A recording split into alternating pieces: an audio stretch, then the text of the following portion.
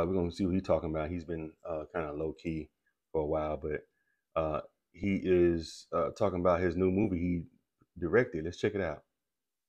If I'm on live, excuse me, excuse me. Hey, what's going on, guys? Yeah, it's been quite some time. I had to uh, commandeer her Instagram because I no longer, I no longer operate mine.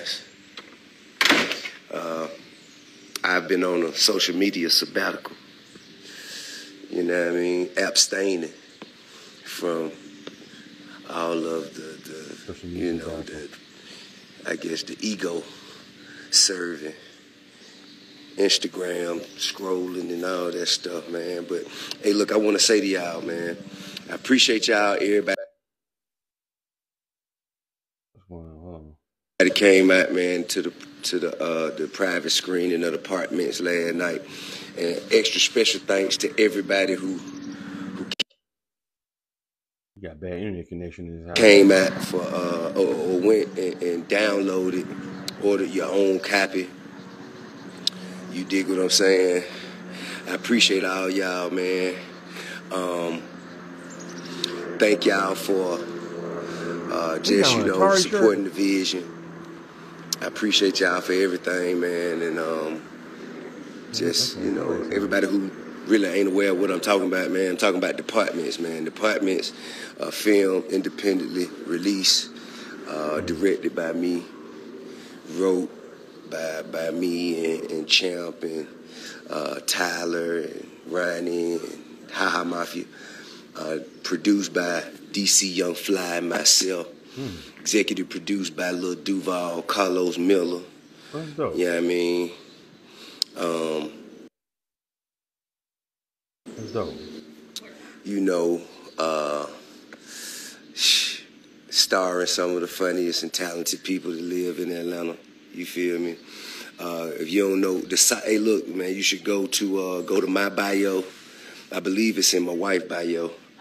Um, uh, but but the site is depart. What's called? Dapartments404.com. Yeah, Dapartments. D A P A R T M E N T S dot film. All right. Or dapartments404.com. So both of those sites take you to both of those uh, uh, uh, URLs will take you to.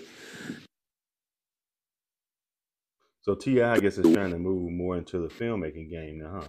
Cool. Both of those URLs will take you to the website, and uh, you can download your own copy. Four ninety nine to rent, nine ninety nine to buy.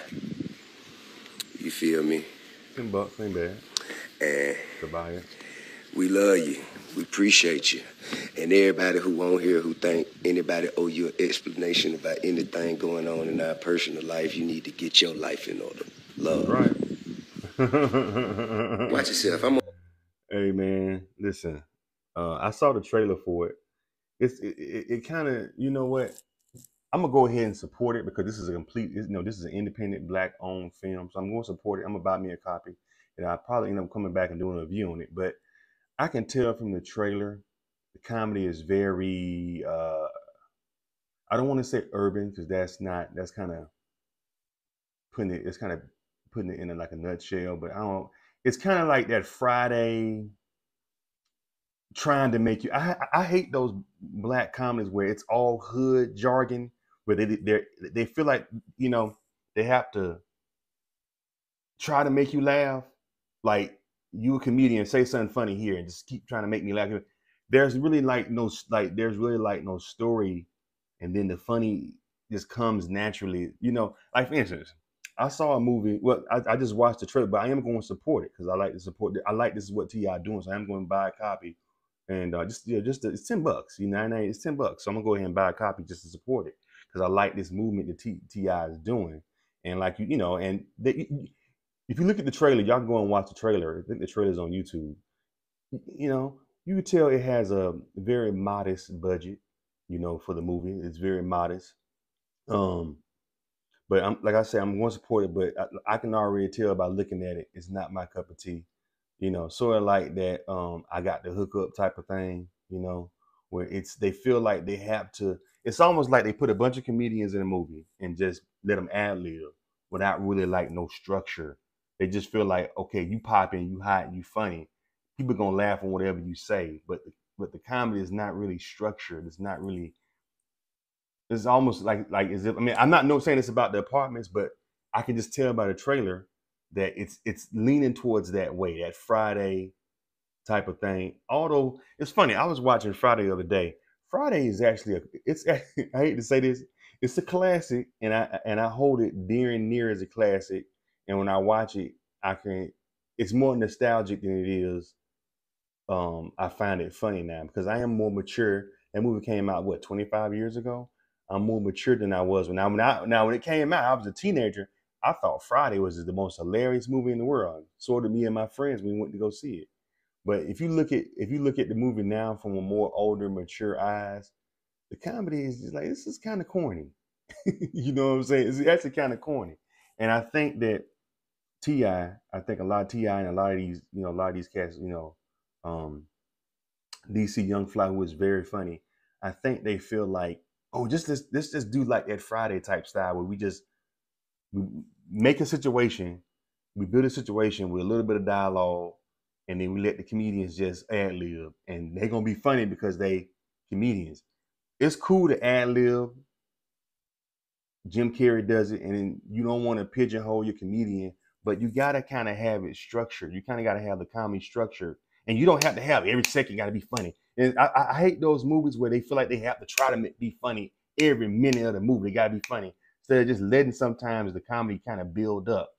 Don't make it where it's boring, but you can make it where you know, okay, you ain't got to be funny every every two minutes. You can be funny maybe every ten minutes, and and then that funny after the ten minutes, uh, you'll get more of a, but it's like you you'll get more of a of a laugh than that, uh, like than just a little bit of chuckle that you're gonna get from you just letting them ad lib every couple minutes because you want to make the movie just funny, funny, funny, funny. You know what I'm saying? Like you'll say, uh huh, oh that's cute, oh that's funny, uh huh.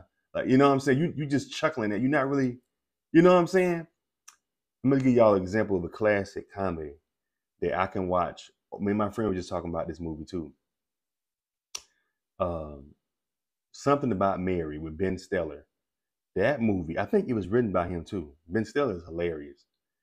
Something about Mary is the most funniest movie in the world, and it's well written, and it's not. it's just the way is the, the characters in it are funny without trying to be funny. They're just average people. The characters are just regular people, but they just have little funny situations. You know what I'm saying? that just it, that I just watched the movie. That movie is still funny, and that movie came out. And see, that's what happens when you make make a movie. That's a timeless classic comedy. That's not just okay. This is for this type of crowd and that's it. You know, you can mature. I watched that movie when something about Mary came out. I think I had just graduated high school. I was about maybe 17, 18. So I was still a teenager. Friday came out maybe three years before that. But I could still watch, I could watch something about Mary and and be laughing my behind off. And I'm in my 40s. And when I saw it, I laughed my behind out, and I was a teenager. I would laugh my, my behind off, and I was a teenager. Friday, I watched it, and it's, I only watch it because it's it's nostalgia. I went on a date when I went to go see it. I went to see it twice, once with my homeboys. Too. So when I watch it, I kind of think about the memories I had when I went to go see it. You know what I'm saying? Versus the actual comedy, because you watch the comedy. This is kind of. I was watching Friday. I'm like, this is kind of corny now, you know, or or maybe because I didn't watch it so many times I think every black person in America has watched Friday at least 20 times, at least 20 times. you know, old and young, you know, but I don't know. But I'm looking forward to this, man. T.I. directing now, so I'm looking forward to supporting this brother. And y'all should too. Y'all should go and check it out. Um, leave your comments. What y'all think about this, man? Give me a thumbs up button. Take care.